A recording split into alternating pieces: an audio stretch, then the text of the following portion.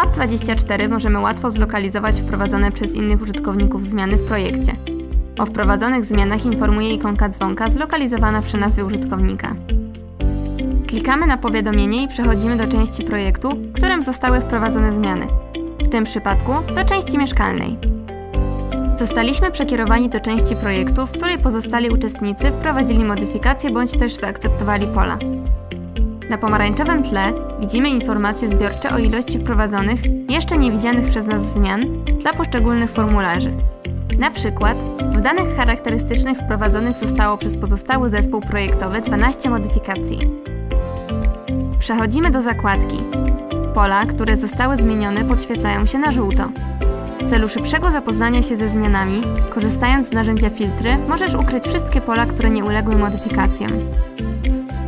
Każde na żółto podświetlone pole zawiera dodatkowo ikonę oka, której kliknięcie oznacza zapoznanie się ze zmianami. Narzędzie filtrowania pozwala dodatkowo ukryć takie pola jak tylko do odczytu, zrobione, zatwierdzone przez kierownika projektu, zatwierdzone przez rzeczoznawcę.